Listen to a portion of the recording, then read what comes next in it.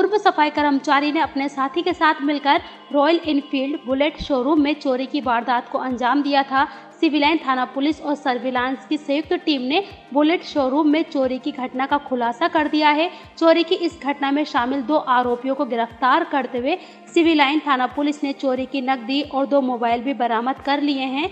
10-11 जुलाई की रात्रि में सिविलाइन थाना क्षेत्र पीली कोटी पर स्थित रॉयल इनफील्ड ऑटोमोबाइल शोरूम में चोरी की घटना हुई थी।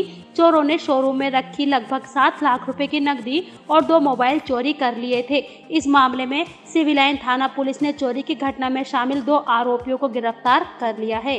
दस ग्यारह की रात में पीली कोठी के पास रॉयल एनफील्ड का शोरूम निगरानी शोरूम है। इसमें चोरी की एक घटना हुई थी। इसमें लगभग छः लाख साठ हज़ार के आसपास रुपये गए थे। सर्विलांस की मदद लेके और जो भी हमारा मैनुअल इंटेलिजेंस है इसमें हमने तहकीकत की, दुकान वालों से पूछताछ की गई।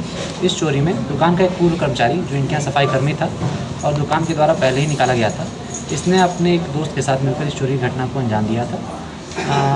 पुलिस ने बढ़िया काम करते हुए लगभग शत प्रतिशत धनराशि बरामद कर दी है, जिसमें से छः लाख सत्तावन हज़ार पाँच सौ रुपये बरामद कर लिए गए हैं। लगभग आठ या नौ हज़ार रुपये जो खर्च हुए हैं उसका भी प्रयास किया जा रहा है उसमें बरामद सर ये जो गिरफ़्तार हुए हैं क्या वर्कर थे वहाँ जी वो यहाँ पहले काम करते थे लेकिन इनके बुरे व्यवहार की वजह से इन्हें इनके पूर्व मालिक ने निकाल दिया था। साथ ही इस घटना में दो मोबाइल ही प्रयुक्त हुए थे उनकी बरामदगी की जा चुकी है। क्या पूर्व में भी कोई इन्होंने नहीं उसकी जाँच की जा रही है। अगर कुछ होगा तो हम उसके हिसाब से कार्रवाई करेंगे। ठीक है।